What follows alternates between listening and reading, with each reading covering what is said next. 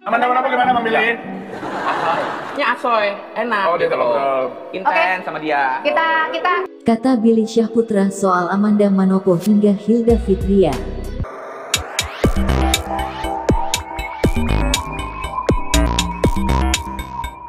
Amanda apa gimana memilih? Ini asoy, enak Oh, dia gitu Intens sama dia. kita kita Ngobrol lebih lanjut dulu, kita perkenalan dulu, kita jalan dulu, kita uh, hangout dulu atau segala macamnya. Nanti kalau misalkan kita mempunyai hubungan untuk ke depannya itu kan memang Pembawa acara Billy Syahputra diminta untuk berkomentar mengenai deretan foto perempuan yang pernah dekat atau sempat berhubungan dengannya.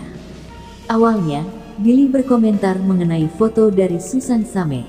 Adik dari almarhum Olga Syahputra ini langsung menyebut bahwa Susan merupakan orang yang sok dewasa. Sok dewasa. Apa perlu gue jabarin di sini? Sok dewasa dia. Kalau cantik, ya enggak diragukan, kata Billy Syahputra dikutip kompas.com dalam YouTube In The Cosnet, Rabu tanggal 9 Juni tahun 2021.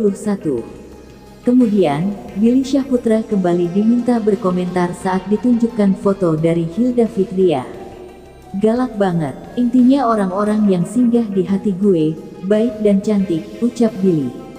Lalu, ada foto dari Amanda Caesa yang juga dikomentari Billy. Ia bahkan sempat meluruskan ihwal kedekatannya dengan putri dari pelawak Parto Patrio tersebut.